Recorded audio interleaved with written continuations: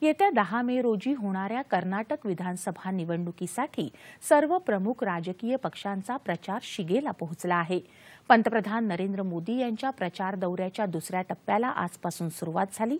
या दौऱ्यात पंतप्रधानांनी चित्रदुर्ग इथं पहिली जाहीर सभा घेतली. भारताला जगातला पहिल्या क्रमांकाचा देश बनवण्याचं भाजपाचं संकल्पपत्र असून ही निवडणूक म्हणजे कर्नाटकला पहिल्या क्रमांकाचं राज्य बनवण्याची निवडणूक आहे असं ते म्हणाले. भाजपानं आपल्या जाहीरनाम्यात आधुनिक पायाभूत सुविधा आणि महिला आणि तरुणांच्या सक्षमीकरणावर लक्ष केंद्रित केलं आहे असं त्यांनी सांगितलं. काँग्रेसनं कर्नाटकच्या विकासाला प्राधान्य दिलं नाही. काँग्रेस आणि जेडीएस यांनी या भागाला विकासापासून वंचित ठेवल्याची टीका पंतप्रधानांनी सिंधनूर इथल्या प्रचार सभेत केली. या व्यतिरिक्त पंतप्रधानांच्या आणखीही काही जाहीर सभा आणि एक रोड शो होणार आहे.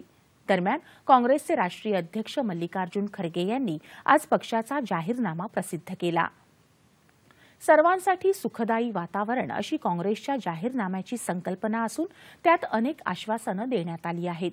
प्रत्येक कुटुंबाला दोनशे एककापर्यंत मोफत वीज पुरवठा दारिद्र्य रेषेखालच्या कुटुंबांना दहा किलो मोफत तांदूळ महिलांना निशुल्क सार्वजनिक वाहतूक वाहतूक कुटुंबातील प्रमुख महिलेला महिना दोन हजार रुपये बेरोजगार पदवीधर आणि पदवीधारकांना भत्ता दिला जाईल अशी घोषणा यात आहे.